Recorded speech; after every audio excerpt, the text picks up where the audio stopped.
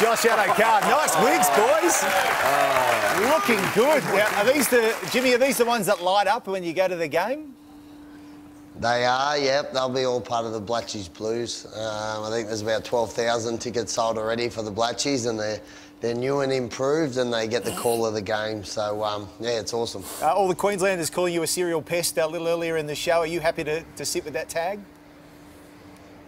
Yeah, it doesn't bother me, mate. Um, I, don't, yeah, I, don't, I, don't, know why, but uh, yeah, whatever.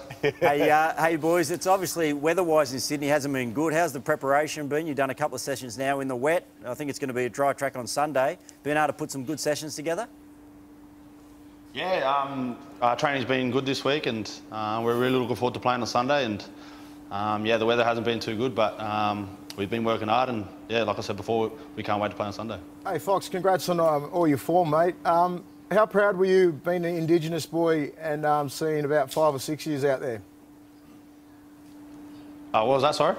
How proud are you being an Indigenous fellow and just seeing about five or six of your brothers out there and playing with them? Was it a proud moment? Yeah, very, yeah, very proud moment, mate. It's a very proud moment for our people, and yep. um, to have uh, six of us in the side, it's uh, pretty special. And um, yeah, it's, uh, like I said before, it's pretty special, and we can't wait. Hey, Jimmy, obviously uh, I'm a massive fan of Matt Prior, as you are winning a grand final with him.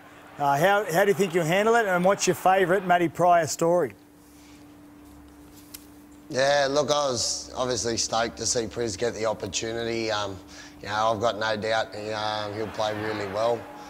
Um, in terms of story, here's, here's something. So playing, you know, footy for him, uh, with him for two years, never knew this, but, you know, when he got named, Freddie asked him to get up and have a chat, and he asked him, tell us one thing about you that no one would know.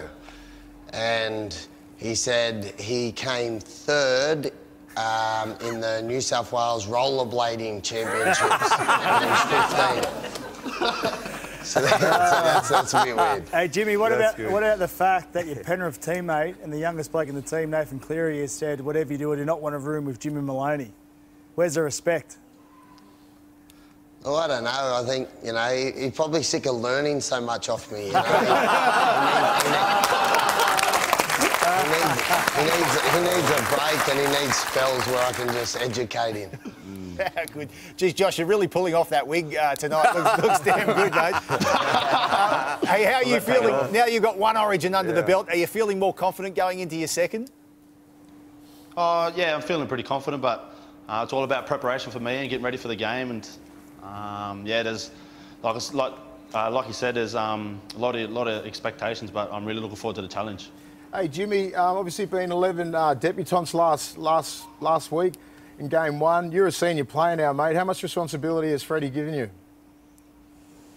Yeah, look, I think there's a few of us there. Obviously, Clem, Frizz, uh, Boydo, our captain, and me, who probably got uh, the experience. And, you know, I suppose we've had to take leadership roles and probably, you know, help these guys understand, you know, what was coming in the lead up to the first one. And now they've experienced it, probably just, um, you know, make sure they all understand that it's all going to go up a, another level again. So uh, we've been trying to do that, um, trying to, you know, give them little tips here and there about, you know, what to expect, how to do things, and um, they've all handled the occasion really well, and hopefully they can all uh, go even better game two. Hey, Jimmy, can you tell us what you had for dinner? There's just, I had for dinner. Why is it still on my face?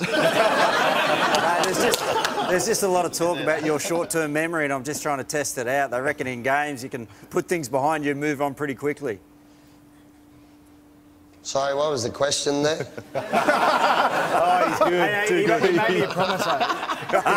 Jim- Jimmy, Jimmy Maloney made us a promise on 100% footy that he would only have try assists for New South Wales this game. But he's made, he's made everyone the promise. yeah, I'll try and keep my word. Hey, a final one from you, Jimmy, before we let you go. Uh, Nathan Cleary, how's he going? And obviously, uh, with the experience of- of game one, uh, looking forward to seeing him going out there uh, at ANZ on Sunday night.